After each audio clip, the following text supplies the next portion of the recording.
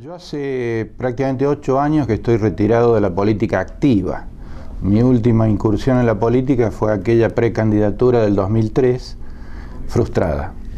Entonces la opción para mí era seguir viéndola de afuera, viendo cómo mi partido sigue inventando candidatos, o participar, acompañar a alguien que me inspire confianza y me ofrezca un espacio.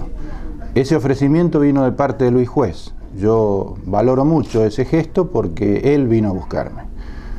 Y es más, agrego, hasta me tuvo que convencer, no porque se trate de él, sino porque ya me había habituado a esto de mirarla de afuera y estaba muy cómodo haciendo lo que venía haciendo, con la historia, con mis libros.